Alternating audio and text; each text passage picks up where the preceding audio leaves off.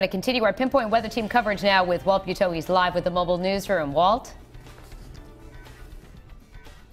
We are at a way station in Richmond. We wanted to give you an idea of the visibility here in southern Rhode Island. I'm about 50 feet from the camera right now. I'm not sure how well you can see me. Let me state the obvious right now.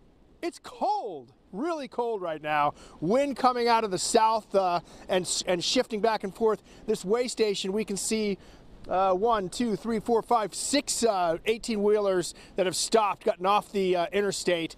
It's down to one lane down here. And like I said, very cold, about, I can, for what I can tell, it looks like about five inches of snow on the ground. Still a, a very fluffy snow, but again, the wind picking up, the snow picking up, a very fine snow starting to gather. The main thing, again, I can tell you though, as you might guess, very cold outside, which obviously can cause some other issues for us. And uh, bad day to be driving. We're doing it as safely as possible. And again, stopping along the way. We're going to head farther south toward Westerly and also try to get a look at the coastline as well for some live shots on today.